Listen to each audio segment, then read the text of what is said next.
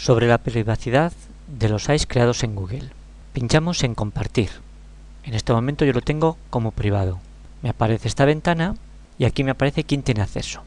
Como tengo la opción de privado, me indica que solamente las personas que aparecen a continuación son los que pueden ver y acceder a este Google Site. Pincho en cambiar para modificar estas opciones. Y escojo esta segunda, cualquier usuario que tenga el enlace, de forma que aquellos que reciban el enlace van a poder verlo. Y presto atención esto, acceso. Cualquier usuario puede ver, de forma que no van a poder modificar nada, solamente lo van a poder ver. Le doy a guardar, me aparece aquí ya la modificación y ya solo tengo que copiar este enlace y pegarlo en la plataforma o enviárselo al tutor.